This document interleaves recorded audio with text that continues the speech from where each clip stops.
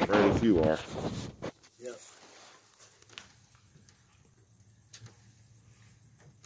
Yeah, the other ones all sank after a minute. They've been out of water all morning. I'm gonna let these go, Mr. Steve. Sure.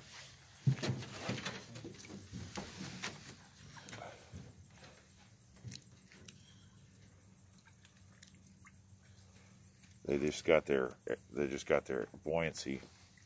That one's Uh, yeah, they got their buoyancy off balance because they've been out of water.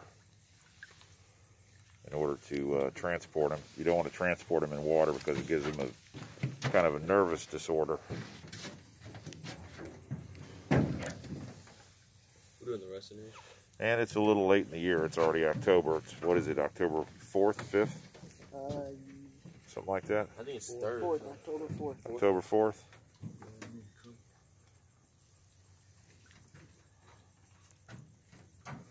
There they go.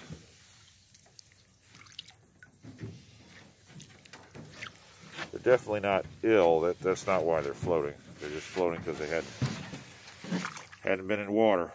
And releasing them all right here is not a big deal either because they're not going to be eaten for three or four months anyway. So they'll move off to a good spot to spend the winter.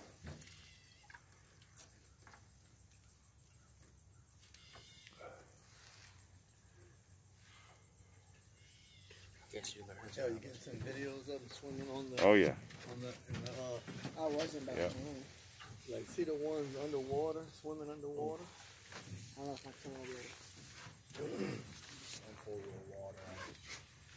Yeah, pour, pour it in here. Pour the water in here. But I'm gonna want to put some water in these and get these wet.